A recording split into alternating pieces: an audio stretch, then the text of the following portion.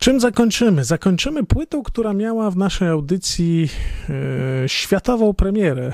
Znalazłem ostatnio na YouTubie właśnie fragment naszej audycji, gdzie zapowiadamy, że to będzie premiera nie tylko miejska, nie tylko województwa, nie tylko ogólnopolska, nie tylko światowa, ale wszechświatowa. Jako pierwsi zagraliśmy grupę Insomnia.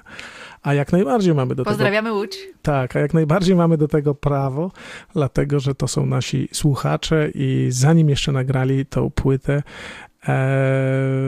słuchali naszej audycji, odzywali się do nas. E, To bardzo, wielkie- nas to, tak. bardzo nas to Wielkie ukłony dla Łukasza, jednego z naszych pierwszych słuchaczy. Tak jest.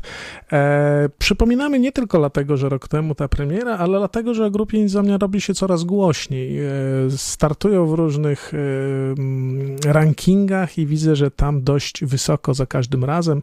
E, Sporo wywiadów, sporo informacji, e, też zapewne jakieś koncerty. Myślę, że jak dotrą kiedyś tutaj do nas na Podlasie, to na pewno zaprosimy ich do studia żeby poopowiadali nam o muzyce, którą nagrali. Na razie opowie- opowiedzieli e, do jednego ze swoich utworów teledyskiem, który można w sieci znaleźć, t- który Katarzynę, Przerażający jest dość mocno.